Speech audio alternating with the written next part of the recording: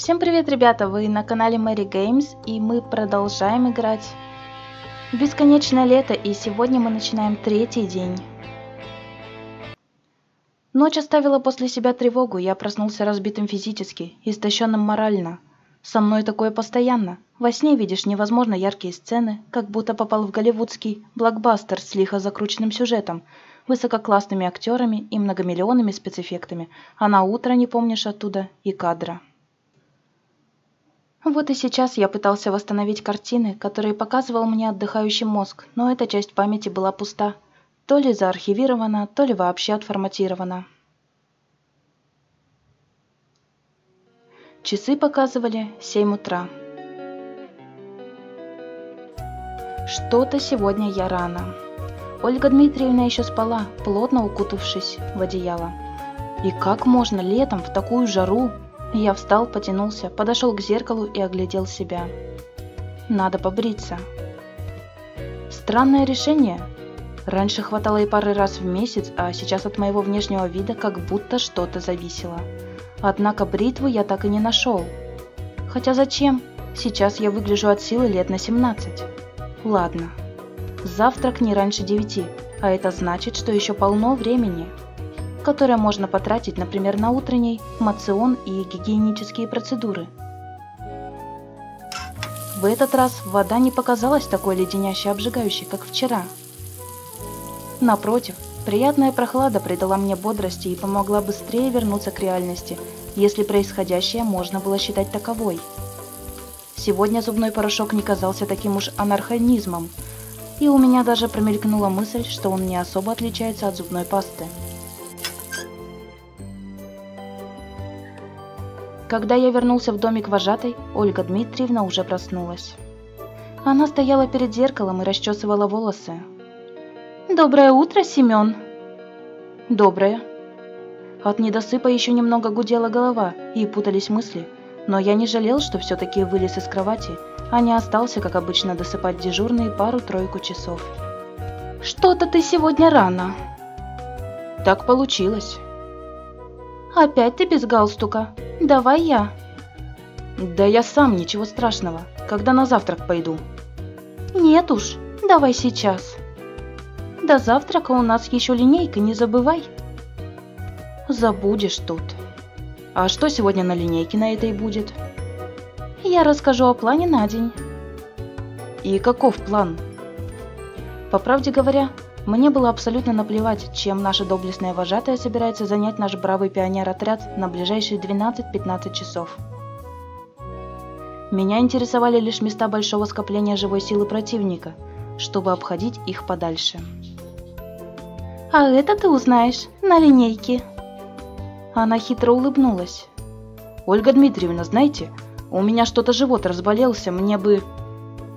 «Ну, вы понимаете, Думаю, ничего страшного, если я разок пропущу, а то будет неприятно, если я прямо там. И откуда во мне столько смелости?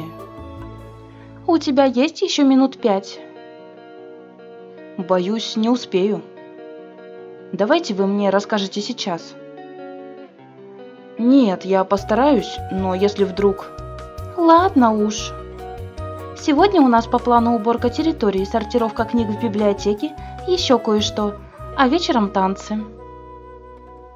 Смотри у меня, чтобы обязательно сегодня поучаствовал в жизни лагеря. Все непременно. Конечно, конечно. А сейчас мне бы... Иди уж. Я вышел из домика, обошел его и спрятался в кустах, дожидаясь, пока Ольга Дмитриевна уйдет. По правде говоря, у меня не было особых причин так себя вести но внутренний голос упорно твердил, что на этой линейке делать нечего.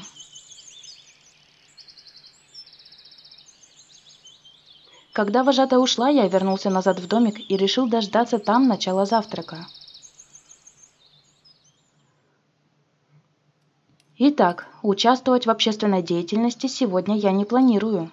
Уборка книги в библиотеке – это совсем не то, чем должен заниматься человек в моем положении – Однако уже прошло два дня, а я ни на йоту не приблизился к разгадке.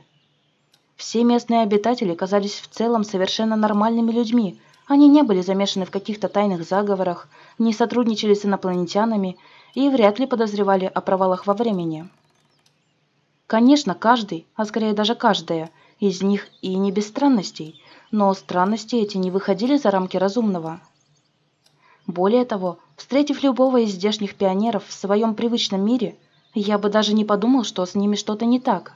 Скорее, они показались бы мне куда более нормальными и естественными, чем, скажем, я сам. Эта линия рассуждений выглядела весьма логичной, нелогичным в ней было лишь отсутствие ответов. Обычные люди в необычном месте. Где-то я об этом уже слышал, где-то видел. Десятки пионеров, а может их куда больше, живут привычной жизнью, занимаются привычными делами изо дня в день и даже не подозревают, что мир вокруг них совсем не такой, каким должен быть. Ладно, но это ситуация с их точки зрения. Мне же не знаком не только мир лагеря «Совенок», но и его обитатели, пусть даже по обстоятельствам они ведут себя так, как по идее и должны. Сейчас необходимо решить один вопрос, имеют ли люди здесь какое-то отношение ко всему, что со мной произошло. И найду ли я ответы у них? Или, может быть, до истины мне придется докапываться другим путем?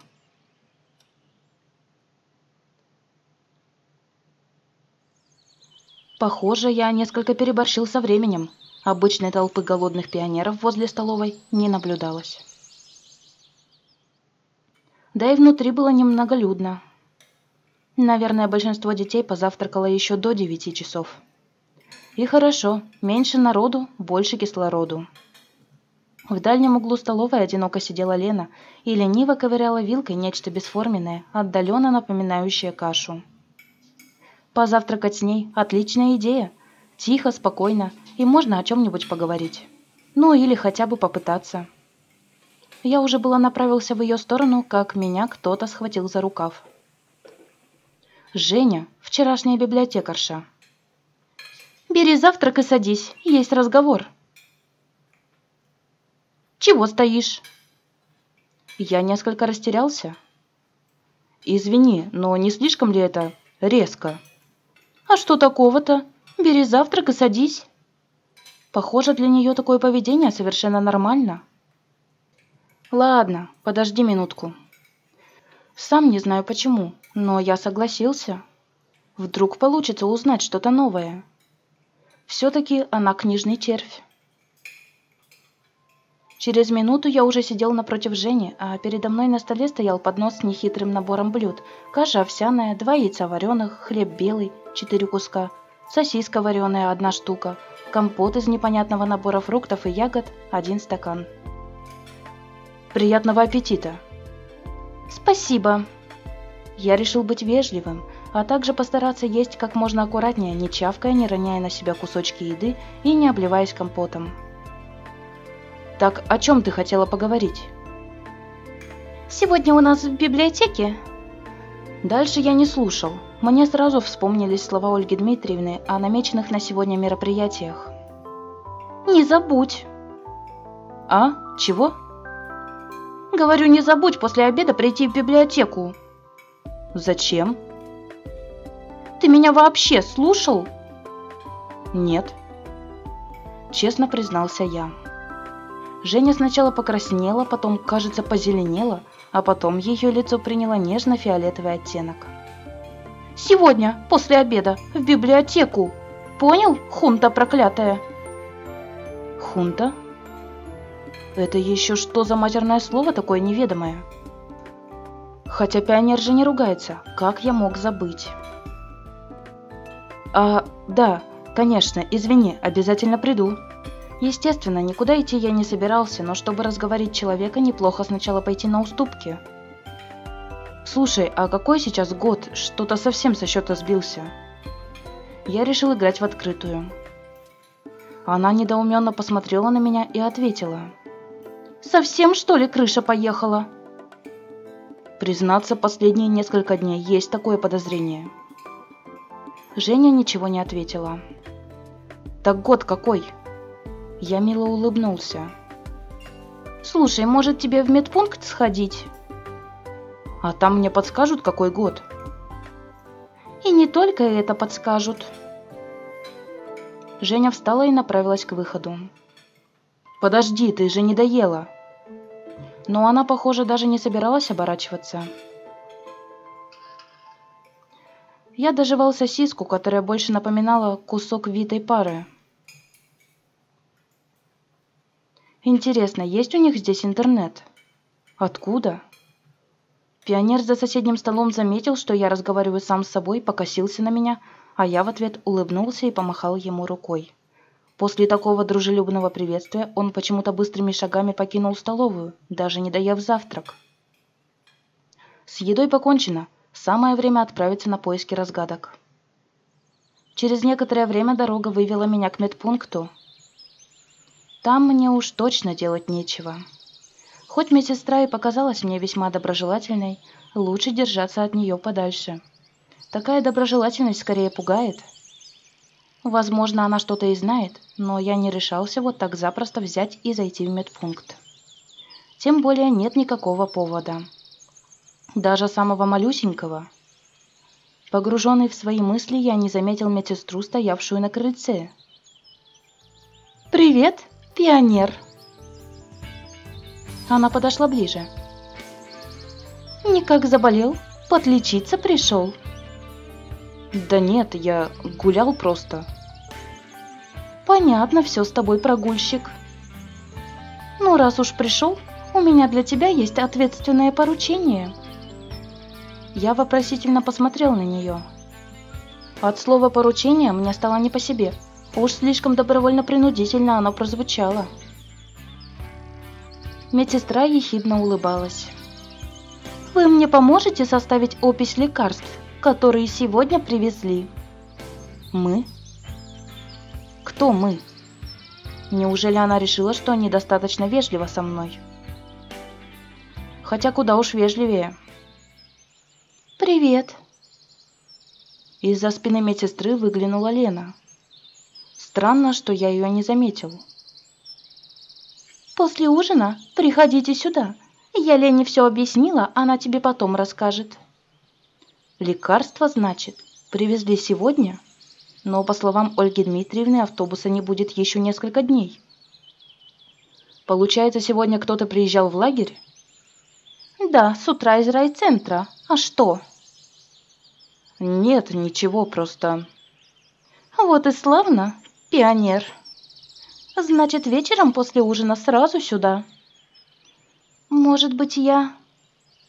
Все это время я совсем не замечал Лену. Действительно, ее навыкам маскировки завидовал бы и опытный спецназовец. Я и одна могла бы справиться. Там много, несколько коробок, ты что? Тем более пионер всегда готов. Так, пионер. Она взглянула на меня и как-то по-недоброму улыбнулась. Тратить весь вечер на подобную работу мне совсем не хотелось, тем более есть дела и поважнее но и отказывать вроде как неудобно. Хотя не будь здесь Лены, я бы что-нибудь обязательно придумал. Знаете, меня Ольга Дмитриевна попросила вечером ей помочь. Может, врать и не стоило, но надо было сначала думать, а потом говорить. Да? И чем это ты собрался ей помогать? Дело принимает неприятный для меня оборот, но я решил идти до конца. У нее в домике. В домике уборку сделать, вещи разобрать и все такое. Вы же знаете, какой у нее там бардак. Небось и шкафчик свой попросила разобрать. Медсестра посмотрела на меня так, что фиаско Наполеона при Ватерлоу показалась мне всего лишь досадной неприятностью по сравнению с моим нынешним поражением. Я уже было собрался что-то ответить, но она продолжила. Ладно уж, пионер. Без тебя разберемся. Ты извини, просто понимаешь, сказал я, посмотрев на Лену. Она стояла все так же, уставившись куда-то себе под ноги, и краснела, краснела все больше. Да ничего, я сама. Ну ладно тогда. Воцарилось неловкое молчание. Хотелось сквозь землю провалиться из-за неудавшегося вранья Из-за того, что наверняка обидел Лену. Ну, пока тогда. Пока. Медсестра все так же ехидно улыбалась. Я развернулся и быстро направился прочь от медпункта. Хотя мне безумно хотелось перейти на бег, здравый смысл подсказывал, что стоит идти обычным шагом. Немного прийти в себя я смог только на площади. И что дальше? Я решил зайти ненадолго домой, чтобы забрать мобильник. Неизвестно, куда меня еще сегодня занесет, а время знать нужно всегда, хотя не проще ли завести часы? В обычный фоновый шум пионерлагеря закралась какая-то новая мелодия. Я прислушался. Похоже на электрогитару. Три повторяющихся аккорда, не более того. Однако эта мелодия оказалась какой-то теплой, словно пропущена через ламповый усилитель. Хотя откуда тут такая роскошь? Звуки доносились, очевидно, со стороны сцены. Интересно, кто бы это мог быть? Стоит пойти посмотреть. Выйдя к концертной площадке, я увидел на сцене Алису. Девочка вся отдавалась музыке, глаза закрыты, одну ногу она поставила на колонку и всем телом покачивалась в такт. Мелодию я узнать не смог, хотя был точно уверен, что слышал ее раньше. Что-то из советского рока, наверное. Навскидку я бы, конечно, смог перечислить с десяток названий групп этого жанра, но в их творчестве разбирался плохо. На слух песня казалась на удивление простой, буквально три аккорда. Возможно, даже я, немного потренировавшись, смог бы ее сыграть. Интересно, где Алиса научилась играть? В советское время подобная музыка не пользовалась всенародным уважением. Будущая рок-звезда же меня не замечала. Она словно пыталась слиться с музыкой, стать каждой нотой, каждым квадратом, каждой триолью – Сразу вспомнились рок-герои 80-х. Многие из них также сильно отдавались музыке. Одень ее вместо пионерской формы во что-нибудь более подходящее веянием тогдашней эпохи, никто и не заметит подмены. Выступление подходило к концу. Взяв несколько последних аккордов, Алиса наконец посмотрела в мою сторону. «Понравилось?» Кажется, она совсем не удивилась мне. Да, весьма неплохо. Как будто можешь лучше. Алиса хитро улыбнулась. Я и не говорю, что могу лучше. Я в музыке не спец. Кто бы сомневался. Такие дела. Я не знал, о чем с ней говорить дальше и уже собирался уходить.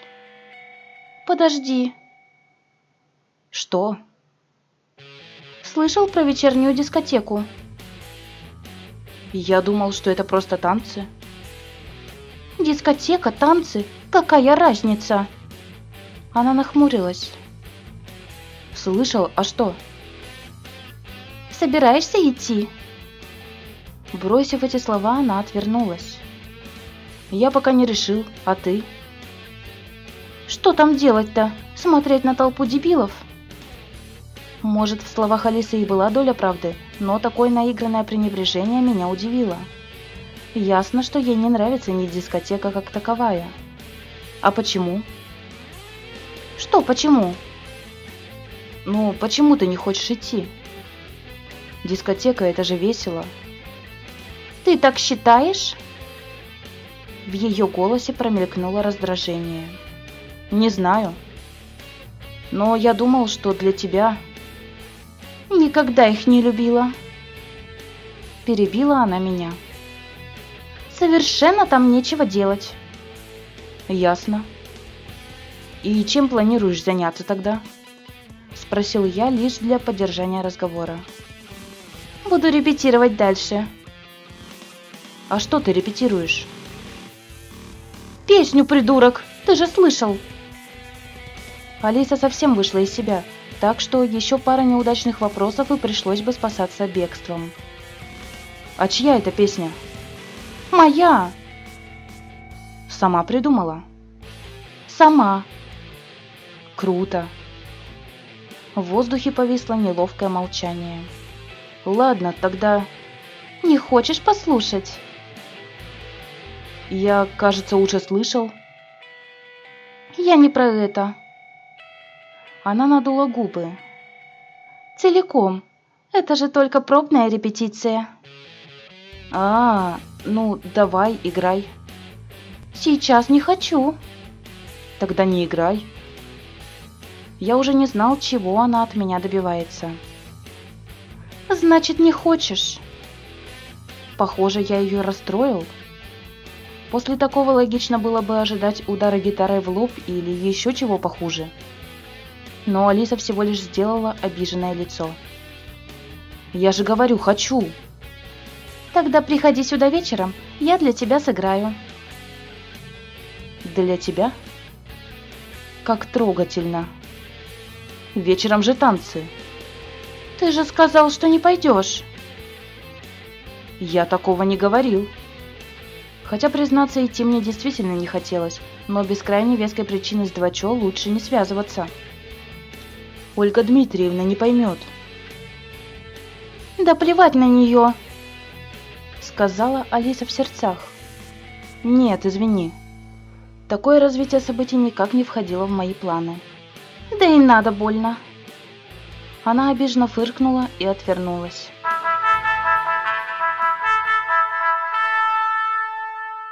От мыслей о правильности этого решения меня отвлекла музыка, призывающая пионеров на обед. Я посмотрел в сторону столовой.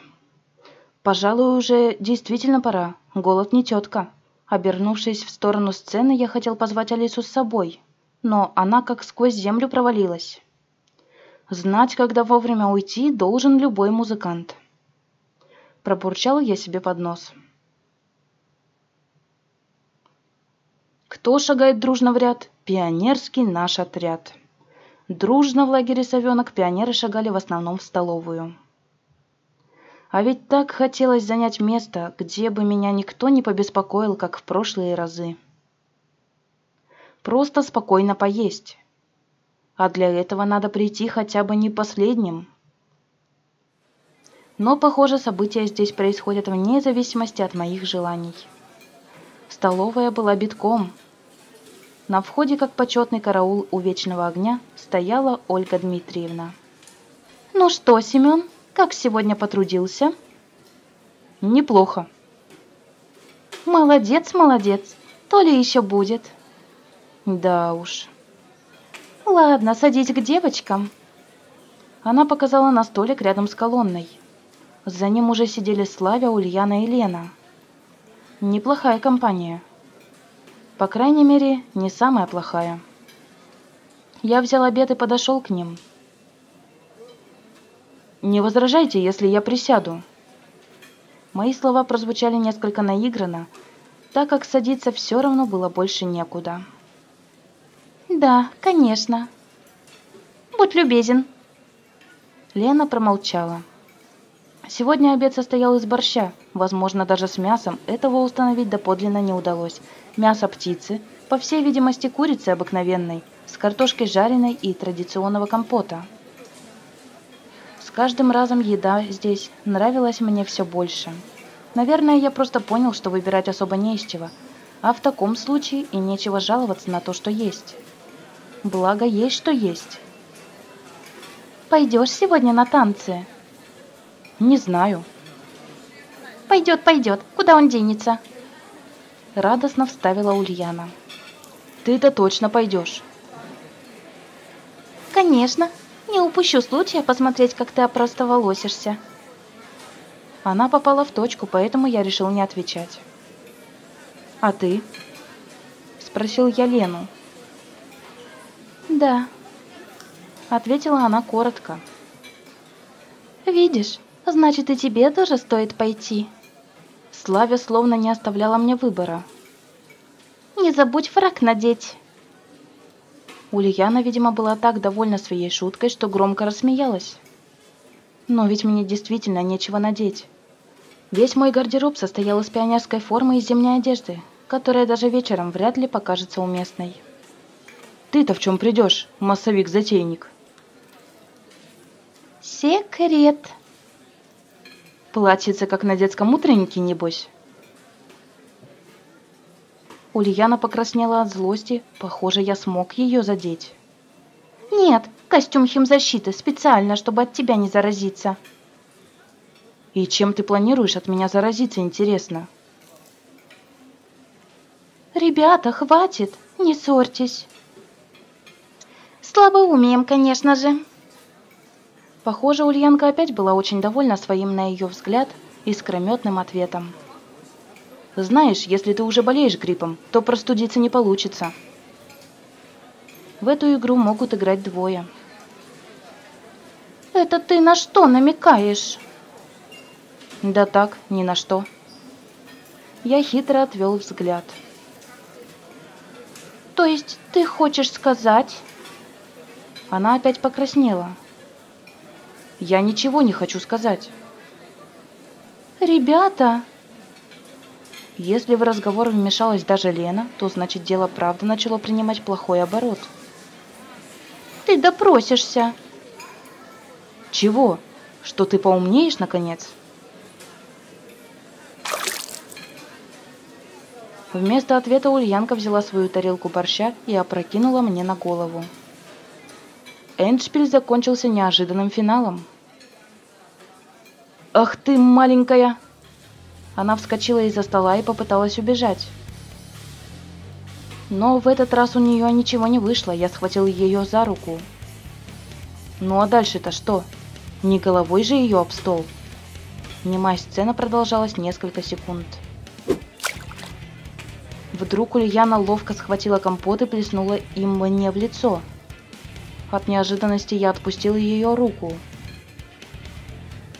Она побежала куда-то в сторону буфета, а я за ней. Результатами нашей гонки стали несколько опрокинутых столов, гора разбитой посуды, пять в разной степени покалеченных пионеров и полное изнеможение обеих сторон. Можно сказать ничья. Боевая ничья. Слишком боевая ничья. Мы стояли друг напротив друга и тяжело дышали. «Больше не будешь так?» «А ты?» Сзади к нам незаметно подошла Ольга Дмитриевна. Действительно, такой погром не мог пройти без последствий. «Ну что, довольны собой?» Ее голос звучал спокойно, но я был уверен, что она вот-вот готова взорваться. «И кто все это должен убирать теперь?» Так и произошло.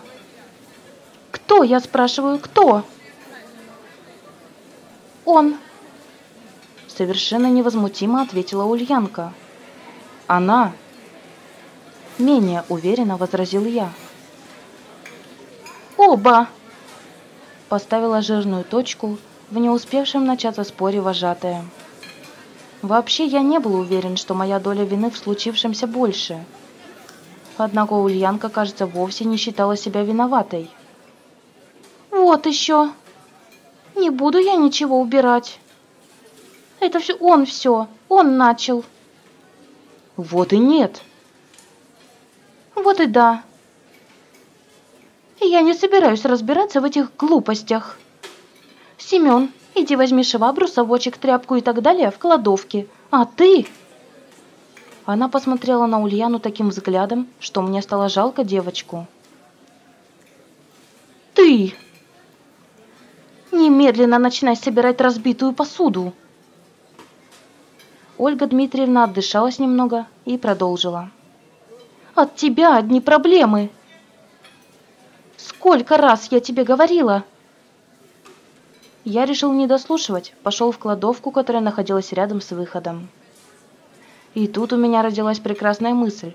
А почему бы не сбежать? Конечно, Ольга Дмитриевна нас уже поймала, но я-то ни в чем не виноват.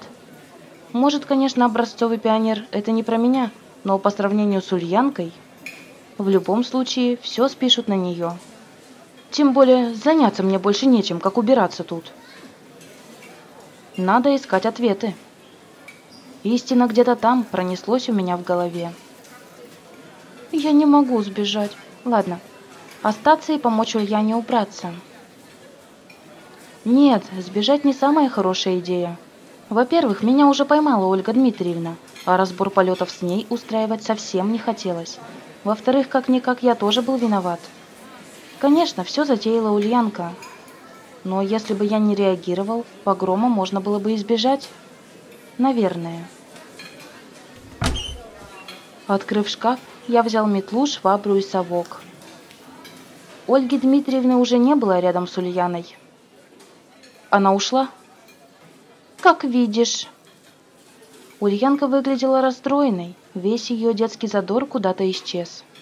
Ладно, подожди, сначала пойду отмоюсь. Я бросил на нее злобный взгляд и направился к выходу.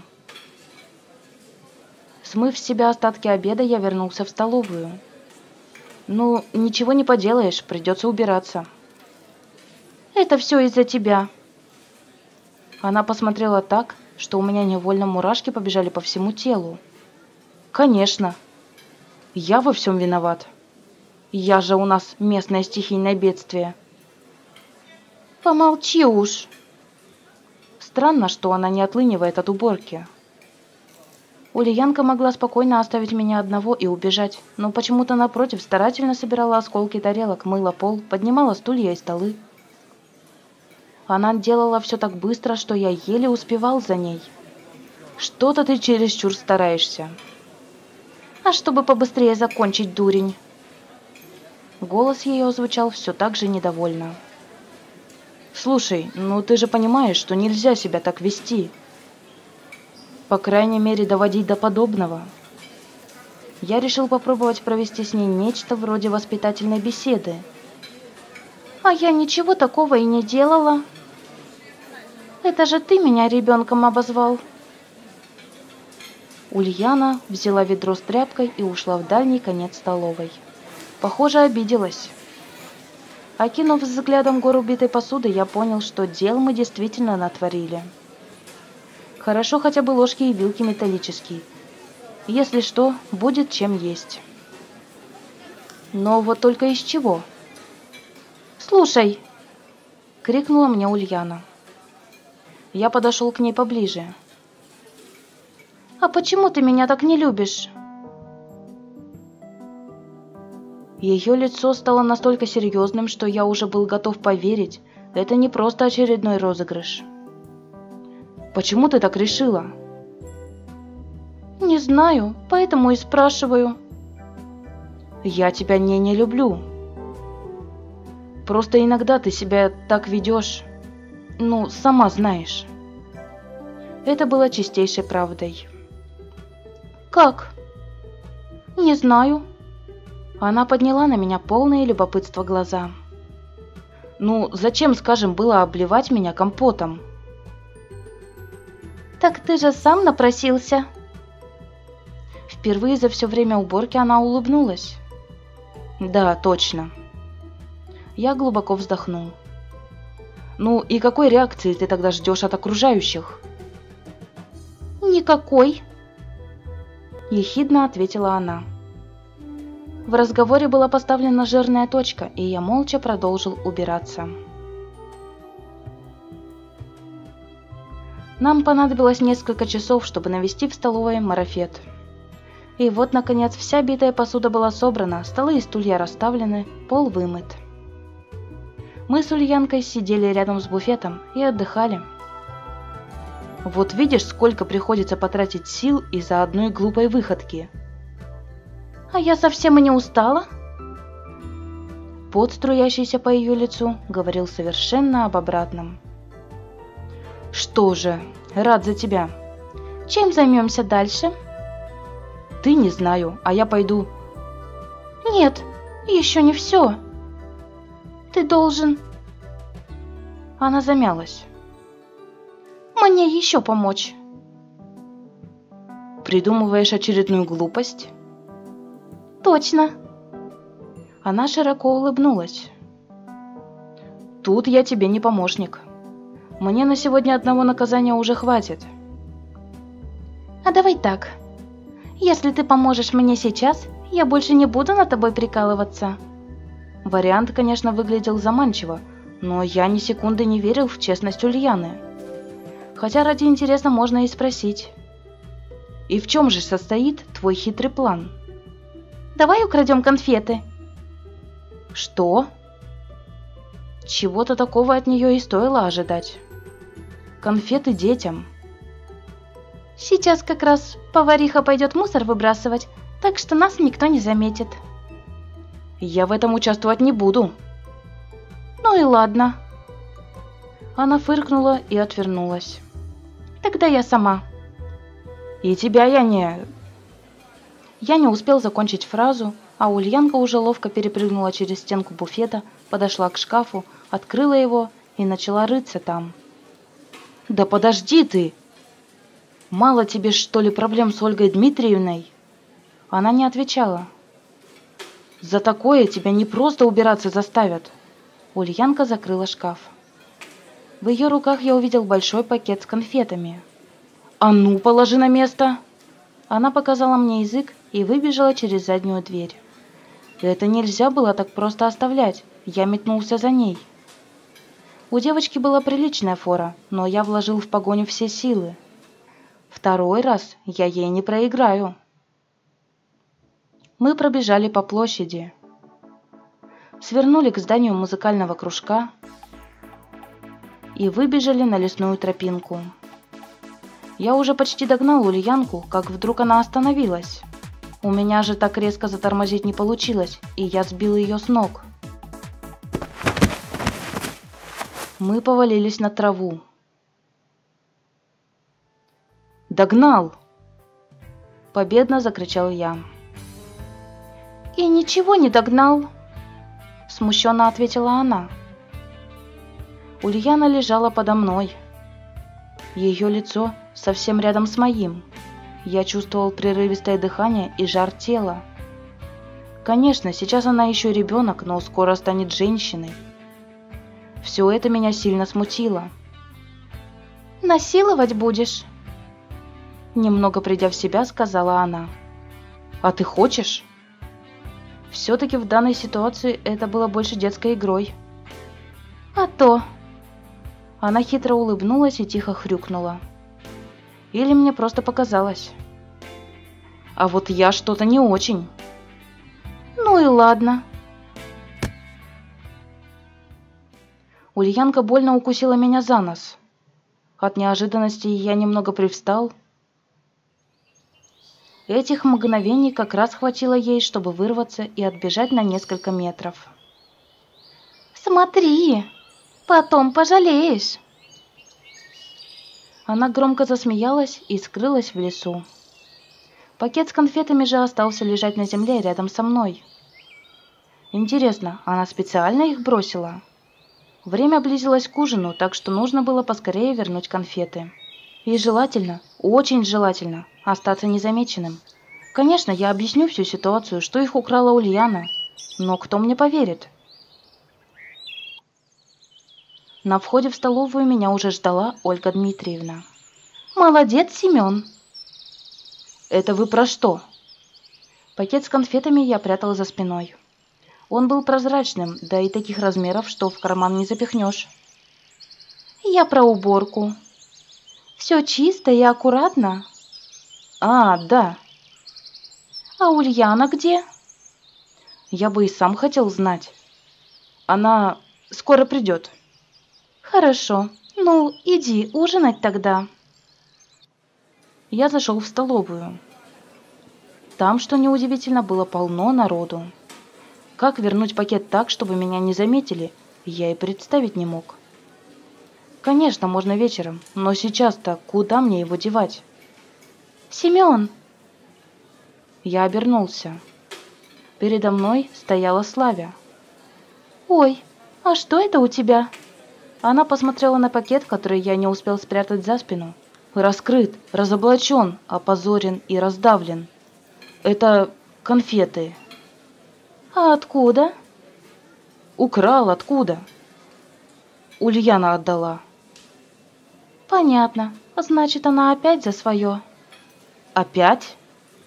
Ну, она уже не первый раз ворует конфеты. И почему я не удивлен? Давай я их отнесу. Спасибо. Славя в очередной раз спасла меня. Она взяла пакет и направилась к буфету. У меня не было никакого желания слушать, что она будет говорить, отдавая конфеты, так что я стал быстро бегать глазами по столовой в поисках места. Похоже, мне предстояло ужинать с электроником и Шуриком. Сесть все равно было больше негде. «Приветствую, господа!»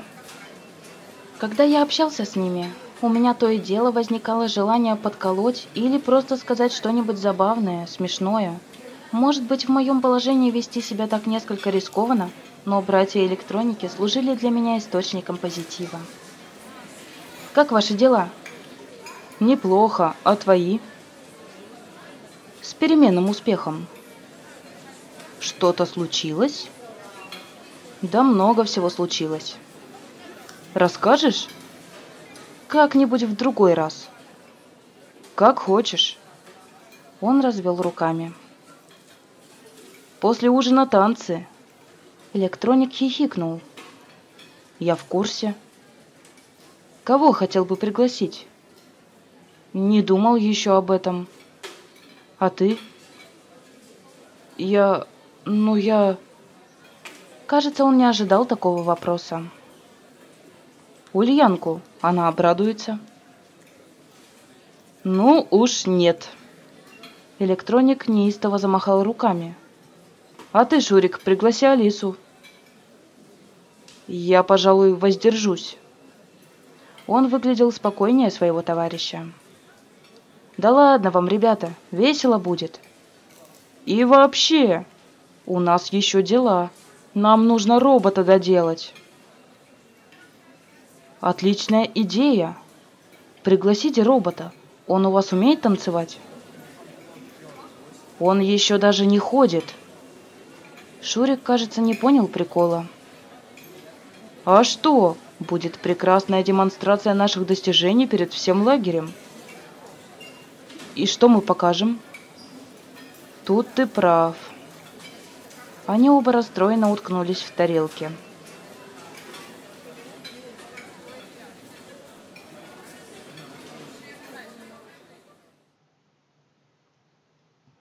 Ужин закончился, и пионеры начали расходиться.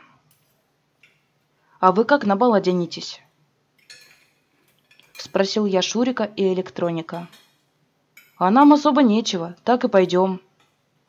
Он показал на свою пионерскую форму. Кажется, их совсем не волнует внешний вид. Что же я тогда беспокоюсь? В зимней одежде все равно идти не вариант, так что пойду как есть. И во сколько начало? После девяти. Ясно. Я вышел из столовой и полной грудью вдохнул свежий вечерний воздух. Мне сразу вспомнились те редкие дискотеки, на которых приходилось бывать еще в школе. Неуверенность, стеснение и даже страх. Я не умел танцевать, не знал, как правильно реагировать, если пригласят меня, а сам кого-то приглашать не осмеливался. В общем, чувствовал себя там крайне неуютно. Тем неприятнее было мне смотреть на чужое веселье. Нет, это не зависть. Скорее удивление от того, что люди могут получать удовольствие от чего-то совершенно мне непонятного. Я прикинул, что до начала дискотеки еще порядком времени, и решил немного поспать, чтобы вечером быть свежим. Зайдя в домик вожатой, я моментально плюхнулся на кровать и закрыл глаза.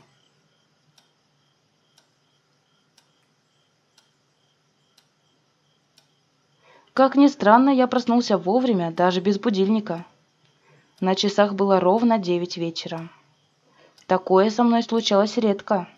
Впрочем, чувствовал я себя помятым. Наверное, все же не стоило спать днем. Похоже, придется идти. Через пару минут я уже стоял на площади. Около памятника установили колонки и что-то вроде диджейского пульта, а на деревьях развесили гирлянды. Такая типичная колхозная дискотека. Пионеров собралось довольно много, но никого из знакомых я не заметил, поэтому сел на лавочку и принялся ждать.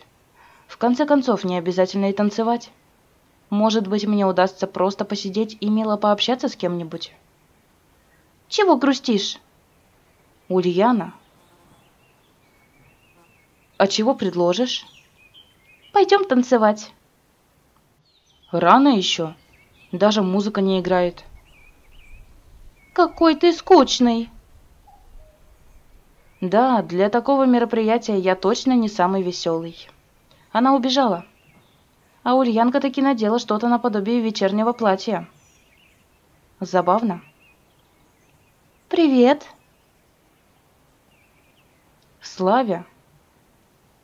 Привет. Она присела рядом. Как тебе вечер? Нормально. Что ты такой грустный? Да ничего. Ладно, потанцуешь, развеселишься?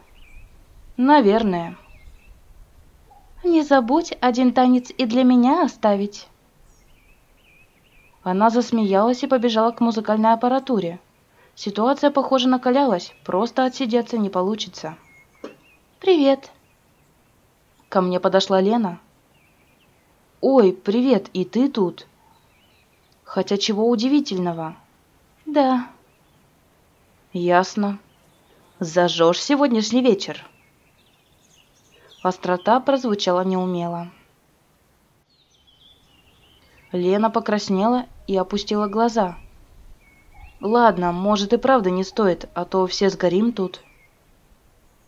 «Ладно, тогда я...» «Ага». Она ушла. Похоже, уже весь лагерь собрался на площади. Пионеры стояли большими группами, о чем-то разговаривали, шутили и смеялись. Возле диджейского пульта Ульянка громко спорила с Ольгой Дмитриевной насчет музыкального репертуара на сегодняшний вечер. И вот момент настал. Пластинка закрутилась. Чего это была за песня и группа, я не знал, но термин классика советской эстрады, на мой взгляд, подходил для них как нельзя лучше. Пионеры и пионерки некоторое время просто стояли, словно не слыша музыки.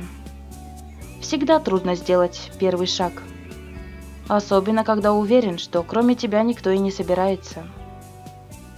Но Ульянка, похоже, не знала этой простой истины. Она выбежала на середину площади и закричала. «Чего стоим?» И начала нелепо кривляться. Именно кривляться. Другое слово сложно подобрать. Это выглядело настолько глупо и забавно, что я не удержался и засмеялся. Она заметила – «Эй, Семен!» Я сделал вид, что не слышу. «Не притворяйся, иди-ка сюда!» Я продолжал игнорировать ее. Пионеры потихоньку поняли, что от них требуется на этом празднике жизни, и пустились в пляс.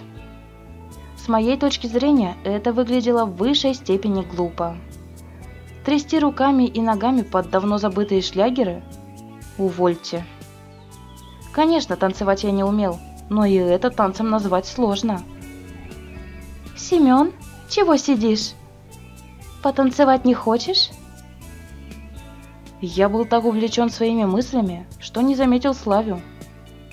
Да что-то не хочется. Точно? Она улыбнулась. Попозже, может быть. Черт, что я вообще здесь делаю? Славя вернулась к танцующим. Я посидел еще некоторое время, и когда уверился, что на меня никто не обращает никакого внимания, осторожно улизнул.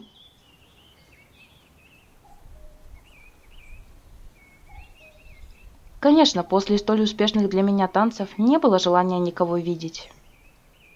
А самое безлюдное место здесь – это автобусная остановка, на которую уже, наверное, никогда не приедет родной 410 маршрут. Но... Я только приглушенно вскрикнул. Передо мной стоял автобус. Точно такой же, как и в первый день. Я застыл в ступоре. Как? Что? Как? Почему? Мгновенно всплыли все теории о попадании в этот лагерь. Тут же, как ножом резанула мысль. За эти несколько дней я слишком привык к местной жизни и уже стал забывать все, что здесь происходит. Ой, как далеко от нормального. Несколько минут я просто стоял и смотрел на проклятый Икарус, затем пару раз похлопал себя по щекам, чтобы убедиться, что это не мираж, но автобус никуда не исчезал. Раз он здесь, то мне пора домой. «Сайонара, пионеры!» И бросился к двери. Очнулся я на земле. Сильно болел нос. Я встал и попытался понять, что же произошло. Видимо, во что-то врезался. На ощупь автобус был более чем реальным. Я попытался просунуть руку в дверь, но там словно стояла невидимая преграда. И тут меня обуял практически животный страх. Страх всего лагеря, его обитателей, этого автобуса. Как я вообще сюда попал? Что это за чертов Икарус, в который не войти? Почему все это происходит именно со мной? Вдруг подул настолько сильный ветер, что казалось, меня собьет с ног. Я отвернулся и увидел под колесами автобуса маленький клочок бумаги. Там было написано несколько слов.